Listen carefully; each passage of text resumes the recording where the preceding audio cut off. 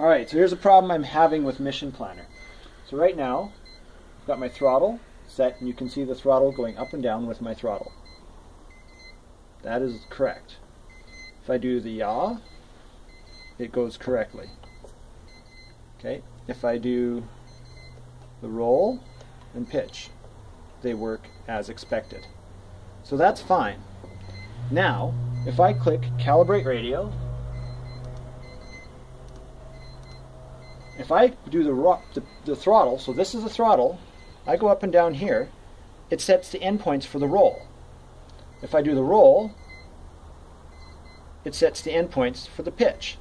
If I do the pitch, it sends the endpoints for the throttle. I don't know which one to trust. Do I trust the green sliders or do I trust the red endpoints? Which one is Mission Planner and Pixhawk using? Which one is correct? I don't like the feeling of not knowing when I go flying if it's going to screw up and it's going to think the red ones are the channels I'm using instead of the green ones. If anybody has any tips, that'd be great. Thanks.